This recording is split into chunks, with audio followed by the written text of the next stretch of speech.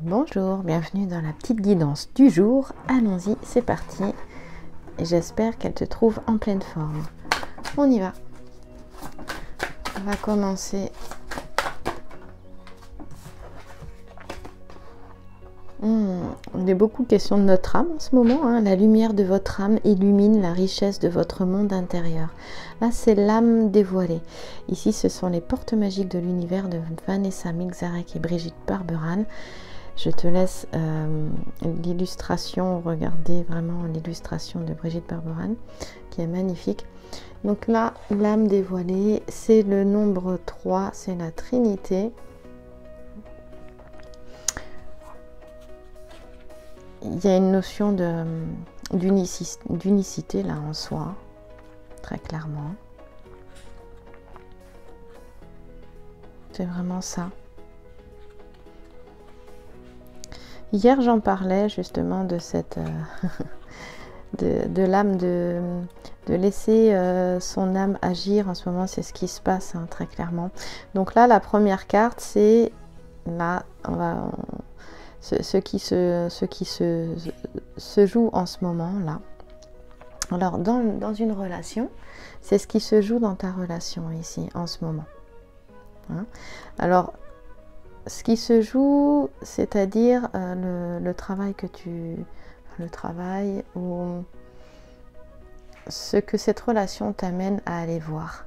Et bien, en fait, elle t'amène certainement à, revenir à l'intérieur, à découvrir toute cette richesse de ton monde intérieur et euh, de découvrir aussi peut-être ton âme et la voix de ton âme à travers cette carte-là.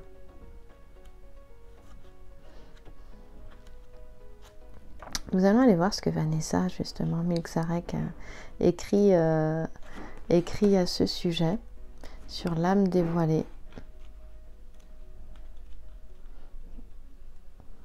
Il y a des relations comme ça, lorsqu'on sort euh, du couple traditionnel, qui, euh, nous amènent au plus près de nous-mêmes. hein. Et de nous-mêmes, M apostrophe A-I-M-E, pour faire un petit jeu de mots.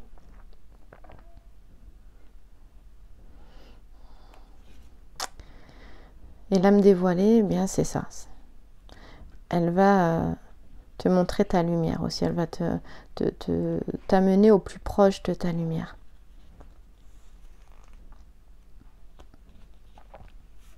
En fait, la relation ici, elle te dit, Vanessa, euh,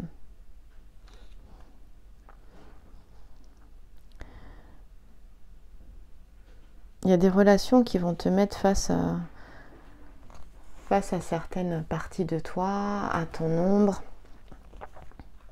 Et des fois, tu peux te retrouver dans des relations de pouvoir. Euh, lorsque justement tu te retrouves plus euh, dans, dans le petit ego. Et à un moment donné, ça peut être fatigue, fatigant.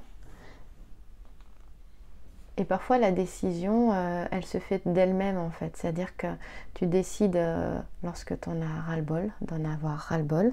Ça se fait naturellement, c'est pas forcément toujours conscient. Et du coup, tu lâches. Voilà, tu lâches et tu renonces, à- tu renonces justement à être dans, dans ce type de relation finalement.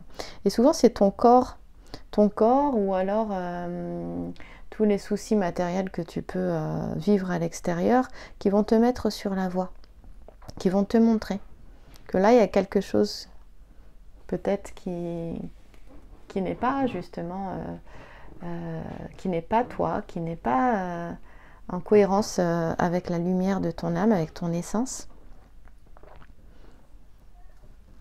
Des fois, c'est pas toujours évident d'aller voir dans quel domaine euh, euh, justement ces, problèmes, ces soucis, comme tu dis Vanessa, ces problèmes physiques et matériels euh, te donnent un message hein, de quoi ils te parlent et dans quel domaine. Et là, on te dit qu'en fait, c'est voilà, lorsque tu es dans des relations de pouvoir, lorsqu'elles sont à l'œuvre, eh bien, ça peut créer plusieurs soucis à l'extérieur ou à l'intérieur, dans ton corps physique. Et avec cette carte, en fait, c'est le désir d'en sortir et d'y renoncer. Voilà, cette carte, elle te met sur la voie, hein, encore une fois, de ton âme. Elle te montre en fait ta nature, ta véritable nature. Et donc, du coup, il y a quelque chose, en lâchant cette relation ou ces relations de pouvoir, où il y a souvent beaucoup de contrôle, eh bien, à partir de ce moment-là, a une l'âme euh, se fait entendre en fait en toi. Tu, tu viens en connexion avec ton moi supérieur. L'âme, elle est le relais entre ton moi supérieur et toi.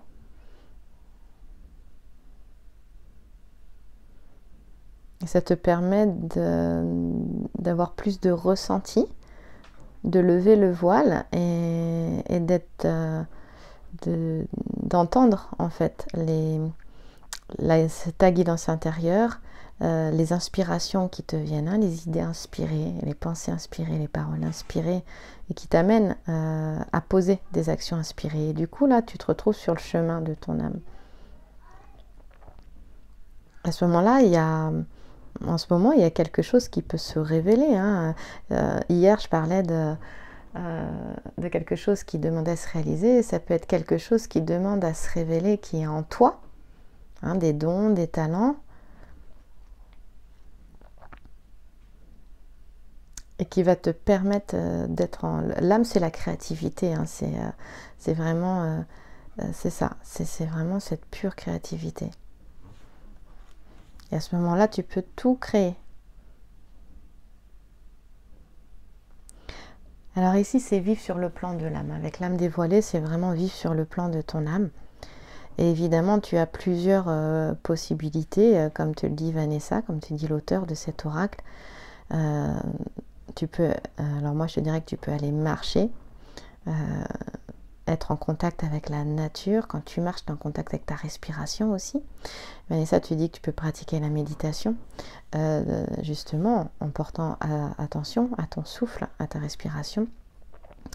Euh, tu peux aussi amener ta conscience, comme on le fait souvent euh, dans la pratique du yoga, dans l'espace de ton cœur, donc en plein centre de ta poitrine. Et respirer comme si ton nez était au niveau de, ton cœur, était au, milieu de ta poitrine et respirer justement dans ce centre-là. Moi j'aime bien faire ça. Et ressentir toute cette sérénité parce que l'âme, tu peux l'entendre, tu peux la, sentir euh, dans le calme. Dans le calme, dans la sérénité, dans le, le silence. Et là, c'est ce qui est euh, cette, euh, la relation dans laquelle tu es peut-être en ce moment, euh, quelle que soit la relation, hein, que ce soit euh, mère-fille, mère-fils, euh, père-fille, père-fils, que ce soit avec un professeur, que ce soit avec évidemment un partenaire de vie, que ce soit avec frère, sœur, ami, peu importe, collaborateur, il y a peut-être une relation là qui t'emmène justement au plus près, au plus près de toi-même si tu sais renoncer à des jeux de pouvoir tu, tu peux, euh, bah, un, cercle et tu te mets à l'extérieur du cercle pour que cela cesse de se rejouer encore et encore. Là, l'affirmation de cette carte, c'est je me reconnecte à la beauté de mon âme et mon meilleur destin s'ouvre à moi. Et tu peux te le dire en mettant ta main gauche sur le cœur. Justement, je me reconnecte à la beauté de mon âme et mon meilleur destin s'ouvre à moi. Tu peux le dire avec tes mots aussi, ça. Hein. Lorsque tu es en connexion comme ça avec euh, ton, être profond, il y a cette sensation de complétude. Et donc justement pour sentir cette, euh, pour te sentir euh, complète, comme le dit Vanessa, eh bien il te suffit de te relier à ton âme, qui justement te permet d'exprimer la gratitude, la gentillesse, l'altruisme et la joie et toute ta beauté intérieure. Voilà ce que te dit l'auteur. Il s'agit ça, il s'agit vraiment de ça en fait. Et euh, l'ego, le petit ego, le petit moi, peut donner la main à l'âme.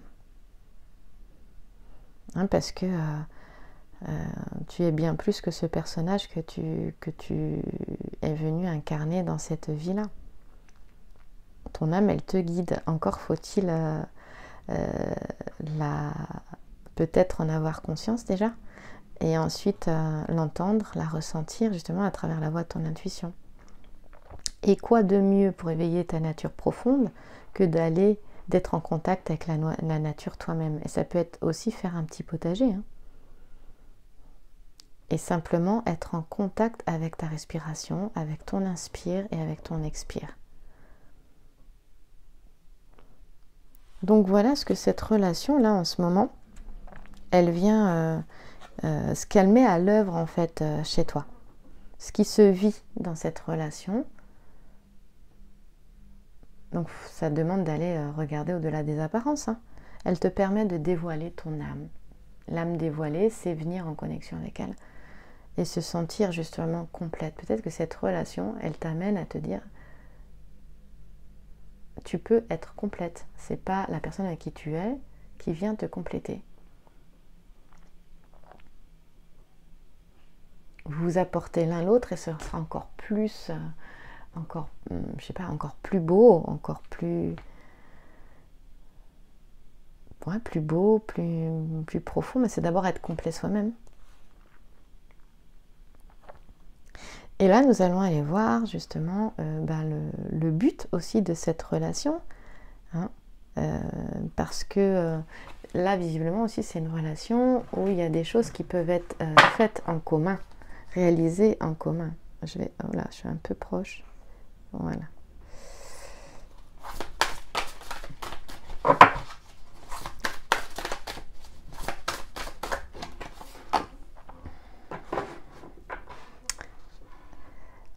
Alors, on est relié au corps euh, ici. Le corps messager, 10.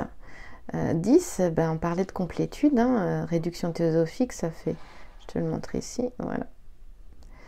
1, plus 0 égale 1. La confiance dans les précieux messages du corps est votre parfait guide.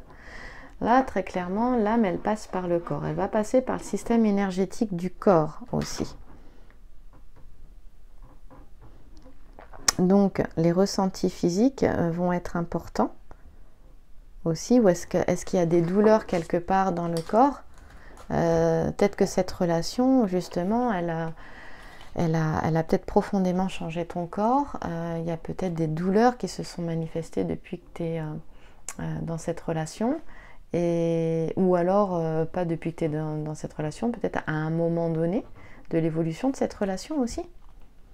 Et là, tout simplement, c'est parce que ça te, ça te parle aussi de ce qui se passe en ce moment. Ce vers quoi, en fait, tend cette relation et euh, ce qu'il y a à, quelque part, je ne sais pas si je peux le dire comme ça, à faire ensemble. Est-ce que ça peut se dire comme ça? Voilà.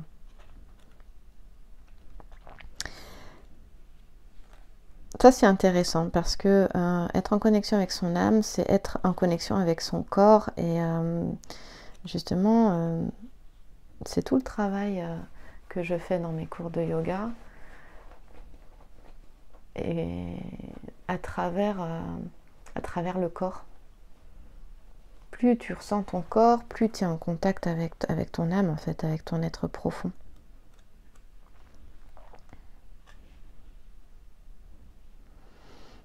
Et là, tu peux te suivre. Le, corps, il a vraiment une intelligence. Hein. D'abord, il est incroyable, mais en plus, il va te parler de toi. Et cette relation, elle te ramène à cela c'est vraiment écouter la sagesse du corps aussi. Hein. C'est, il est un messager et un messager parce que l'âme passe aussi par le système énergétique du corps. Alors, es-tu en contact avec ton corps? Aimes-tu ton corps aussi? C'est, un précieux guide, le corps. Et c'est, très subtil et des fois nous n'entendons pas euh, ces messages et il va crier plus fort. C'est pareil, il va te dire si tu es dans une relation qui est bonne pour toi ou pas, ton corps. Si tu l'écoutes. il te le dira et écrira de plus en plus de plus en plus corps, de plus en plus fort. Voilà. Et ce qui me vient ici aussi, cette notion de faire corps à corps aussi avec, euh, avec la personne. Ça, c'est encore autre chose. Il y a des personnes qui sont, euh, comme le dit Mélissa, de, vraies éponges aussi, hypersensibles, hein, euh, avec une très grande empathie. et donc attention de ne pas tout absorber, justement, aussi d'avoir cette capacité et d'apprendre à se protéger. Voilà. Et pour ça, c'est vraiment faire confiance à son corps pour, euh, pour euh, euh, faire preuve de discernement et de lucidité. Donc, c'est intéressant parce que l'auteur, Vanessa Milzarek, te dit le message de la carte, c'est ça c'est votre intuition se sert de votre corps comme messager et vos ressentis sont justes. Cette carte vous pousse à cultiver et à canaliser votre claire sentience. C'est quelque chose qui me parle parce que la claire sentience valide ma claire audience. Et la clair-sentience, je crois que c'est quelque chose qui ne peut pas être parasité, contrairement à la clairvoyance et à la clairaudience. Et moi, c'est plus facile en tant que coach sportif et professeur de yoga de faire, euh, euh, de, faire confiance à, ma clair-sentience. Chacun fait euh, justement avec son expérience, son histoire et ce qui peut, bien évidemment. mais chaque canal peut être développé. Maintenant, nous avons un canal justement qui s'est plus développé qu'un autre aussi. Ça, c'est notre canal. Est-ce que c'est la clairvoyance, la clairaudience, la clairsentience, même si nous pouvons utiliser les trois Eh bien, en fait, cette clairsentience, elle est précieuse. Elle va vraiment valider, elle peut valider tes ressentis aussi, euh, globaux par exemple, euh, mais en plus, elle est directement en lien avec la sagesse du corps et avec le message de ton âme à travers ce système énergétique. Hein, tous les méridiens ou les nadis qui traversent euh, ton corps. Et ton corps, en fait, va toujours te prévenir de quelque chose avant même que cela arrive. Et là, plus, et eh bien c'est pour ça le, fait euh, bah, pratiquer la méditation, c'est être en contact avec son corps. Pratiquer la marche, c'est être en contact avec son corps. Faire quelque chose de très simple porter attention à, sa respiration, c'est être en contact avec son corps, mais c'est aussi purifier euh, les, différents euh, les différentes euh, routes et autoroutes énergétiques de ton, de ton corps. C'est-à-dire que ce soit les, méridiens ou les nadis, c'est la même chose, et tes centres énergétiques. Tu peux le faire par toi en prenant l'habitude de porter attention à ta respiration, parce que justement, la, première euh, voie de détoxification, c'est d'abord la respiration. Donc là, on te dit que tu as un super pouvoir à ta disposition et en fait qu'il est temps d'être à l'écoute de tes sensations, de tes ressentis justement pour euh, saisir la nature des messages que ton âme t'envoie. et, euh, et, donc cette relation, elle te, si challengeante qu'elle soit, en fait, elle te permet ça si peut-être tu arrives à le voir. Voilà.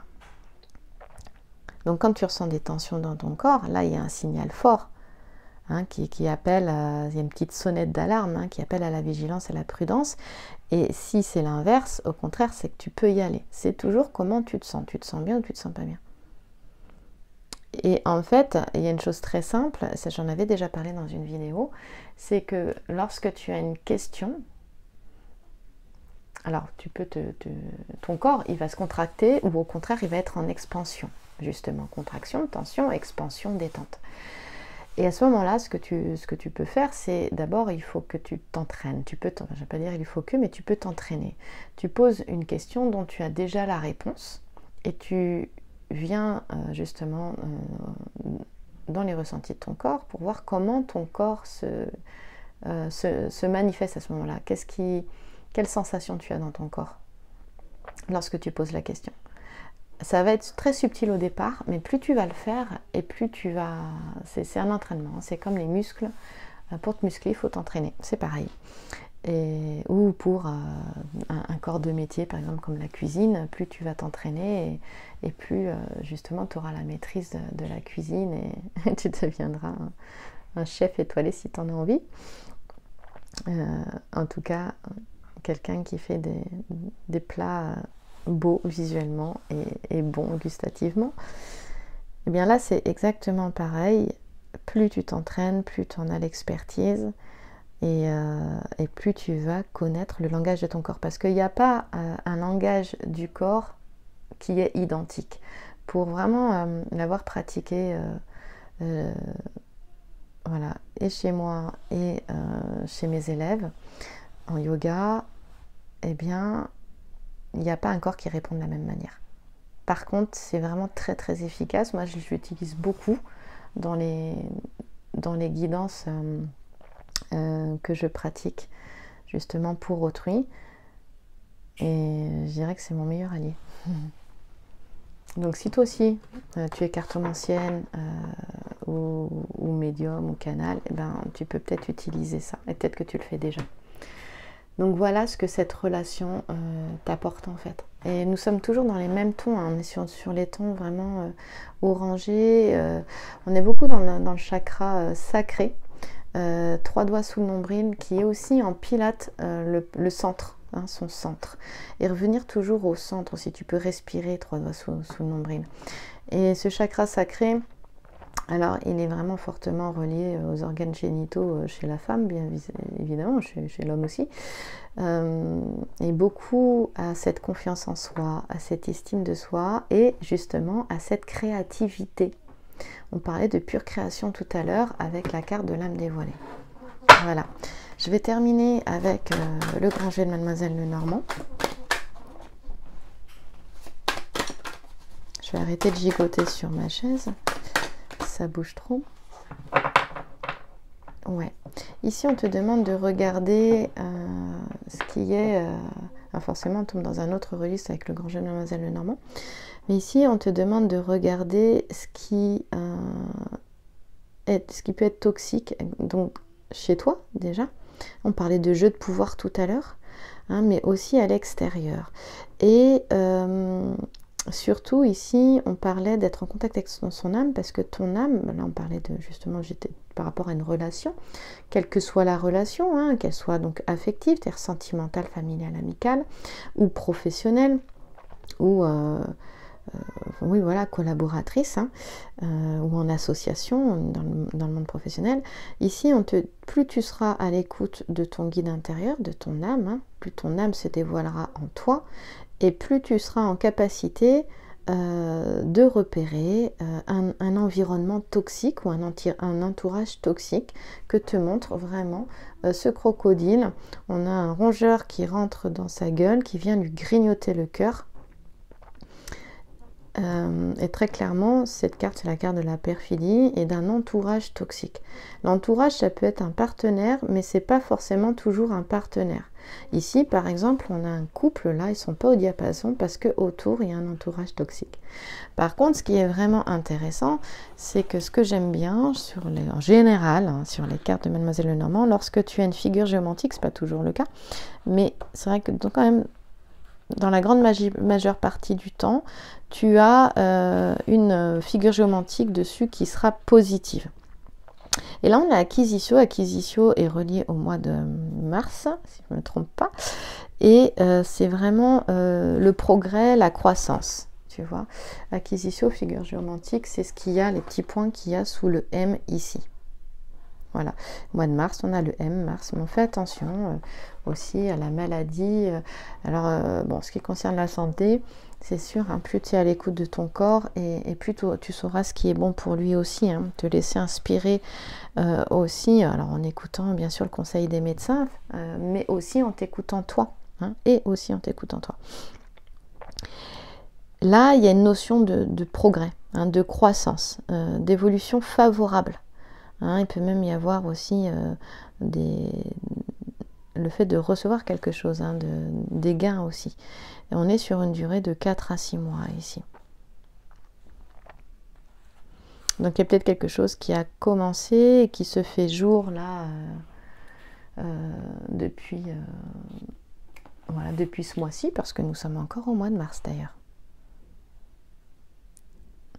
Il y a quelque chose qui se passe, qui se vit sur cette durée-là de 4 à 6 mois. On va aller voir d'ailleurs, on va continuer. Petite pirouette. Alors déjà, elle va aller ici à gauche. Donc déjà, il y a force et protection ici avec nos soldats. On a Populus, on a quelque chose de nouveau, on a un véritable changement avec Populus. Euh, changement, euh, quelque chose de nouveau, nouveau, renouveau, innovation. Euh, peut y avoir aussi un retour. et ça, ça se fait vraiment à partir du moment où tu lâches les jeux de pouvoir. On a quelqu'un qui peut être face à un entourage quand même autour, il y a vigilance, hein, comme la carte est au centre. Euh, voilà, vigilance sans avoir peur, il n'y a pas besoin d'avoir peur euh, euh, du tout. C'est juste une vigilance à peut-être trier son entourage aussi, hein, à ouvrir les yeux aussi également. Mais ça n'empêche pas en fait la suite parce qu'il y a quelque chose qui demande aussi du génie, les questions de voir ses dons, ses talents. Et justement, dans cette relation aussi, c'est des fois une relation, elle t'emmène à aller regarder vraiment au plus profond de toi-même, à regarder tes ombres, à mettre de la lumière dessus, euh, à voir en fait le fonctionnement que tu as qui est peut-être pas bon. Euh, et qui t'éloigne de toi-même, en plus de t'éloigner de la personne avec qui tu es. Euh, ce fonctionnement peut t'éloigner de toi-même un tout court. Euh, et puis, bien sûr, il peut y avoir aussi plusieurs cas de figure, hein, c'est une guidance générale, bien évidemment. Il peut y avoir des personnes aussi euh, ou vraiment une situation toxique autour qui empêche de. Mais n'empêche qu'il y a une belle, euh, protection. Et puis, il y a un changement. En fait, c'est une relation qui permet vraiment d'aller au cœur de soi-même. ce sont des, relations qui sont vraiment challengeantes, qui sont vraiment pas évidentes. Hein. Elles peuvent être vraiment compliquées. C'est vrai, c'est jamais facile. Ça, c'est sûr. Mais elles apportent beaucoup. Hein, c'est vraiment ça. Elles apportent beaucoup. Donc euh, il y a de l'adversité, il y a peut-être des, difficultés, il peut y avoir de grosses difficultés. Hein. Euh, mais très clairement, il est question euh, de, de, sortir vainqueur. Dans une dans une relation euh, sentimentale ici, il y a sortir, de, sortir vainqueur. On peut être face à une relation, euh, une belle relation d'âme-sœur, hein, euh, où les deux sont vraiment, bah, peuvent cheminer vraiment ensemble. Alors âme-sœur, âme-jumelle. Bah, à toi de voir. Hein. À l'époque de Mademoiselle Lenormand, on parlait d'âme sœur, c'est-à-dire vraiment une. Il était question de retrouver son âme sœur. Euh, face, on voit bien qu'il y a une rivalité avec le crocodile et le petit sujet ici nous, le dit très clairement.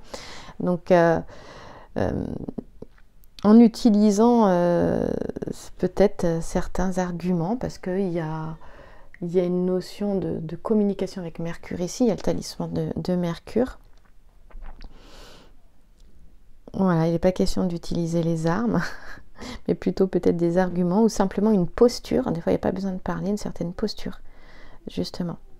Euh, en fait, il est question ici de, te dire que tu as euh, tous les atouts en toi. On parlait de dons, de talents tout à l'heure avec euh, l'âme dévoilée qui est ici. Voilà. Et là, il est vraiment question de ça. Et cette notion de, voilà, on te dit que c'est quelque chose de compliqué, peut-être, cette histoire, cette relation-là, mais mais que tu as tout en toi, euh, justement, tu peux, tu peux déployer tes ailes. Il y a la masterclass euh, vendredi soir à 19h. Tu peux aller voir hein, sur sacré-féminin.com si tu veux t'inscrire à la masterclass de vendredi soir à 19h, qui est un atelier de coaching et intuition. Et justement qui va te permettre aussi euh, d'aller en contact de ton, de ton âme, hein, c'est-à-dire de, de reconnaître, hein, de reconnaître et d'utiliser ton intuition par un, dans un atelier. Donc c'est quelque chose de, très concret. Je te fais vivre un outil de coaching et intuition de l'école L'Union Formation, justement, de Vanessa Milzarek et de son compagnon Gilles Guyon. J'ai été formée par Gilles Guyon. Ce sont, euh, voilà, plus de... Ça fait 13 ans que je les utilise et euh, ils peuvent être réutilisés encore et encore et t'apporteront toujours. Tu as accès au replay. Voilà, là il est, question de déployer en fait euh, justement euh, tes dons, tes talents, euh, ton savoir-faire, ton savoir-être. Il y a une notion d'habileté avec Ulysse là qui est déguisant marchand et qui va, il, il vient dans la cour du roi Licomède et il veut récupérer Achille. Achille est déguisé lui aussi en femme. il a besoin d'Achille pour gagner la guerre. Et donc il va utiliser une petite manœuvre subtile en se déguisant. Et il y a cette notion-là aussi. Donc c'est sûr qu'on pourrait parler de manipulation ou de manigance avec euh, le crocodile là qui est au centre, mais parfois en fonction de qui tu as en face, ça reste nécessaire. Et c'est pas pour autant pour aller faire mal à autrui comme on l'a avec ce, crocodile là, hein. c'est pas la question. Bien évidemment, on te dit que de poursuivre ton but en fait, euh, parce que tes, intentions sont pures, elles sont bonnes et c'est en bonne intelligence aussi. Justement, ce qui te permet euh, d'aller au bout de, ce qui est important pour toi, de tes projets. On te dit de ne pas écouter les jaloux qu'on a très clairement au centre là, avec euh, le crocodile.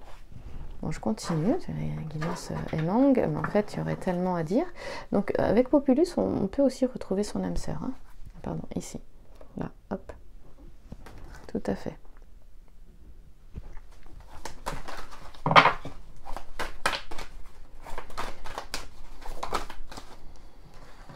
Ah oui, avait quelque chose de, pas facile. Hein.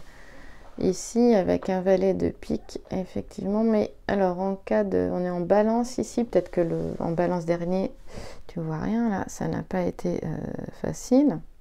C'est possible. La balance ici.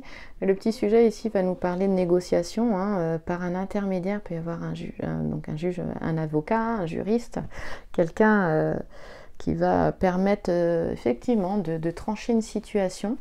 Euh, donc en cas de euh, d'action juridique, hein, peu importe le domaine, ici il y a une belle protection, il y a une belle victoire. il y aura victoire sur les combats, voilà. Et il y a cette notion de, cette notion de quelqu'un qui se met entre les deux, qui fait le médiateur. il y a peut-être aussi cette notion de faire appel à un médiateur. Hein, peut-être qu'aussi des fois, euh, faire appel à un médiateur, eh bien, ça, permet aussi de, régler certaines difficultés. Bon, le valet de pique, très clairement, on l'aime pas parce que c'est quelqu'un qui n'est pas honnête. Hein. Ça, c'est sûr. Euh, puis on le voit bien hein, avec le, crocodile au centre, euh, très clairement. en tout cas, il y a vraiment aussi cette carte, elle nous montre euh, de la balance qu'il est question de retrouver un équilibre, de récolter le fruit, le fruit de ses efforts aussi. Euh, évidemment, elle demande beaucoup de rigueur, euh, il y a une période de rigueur, de pondération.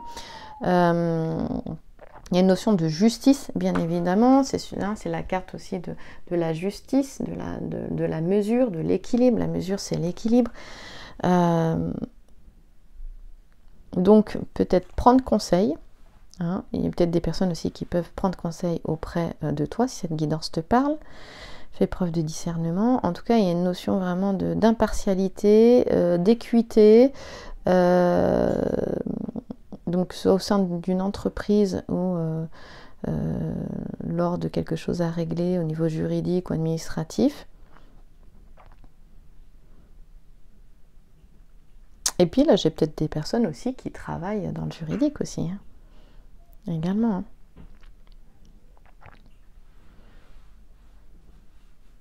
Mais il y a quelque chose... Euh,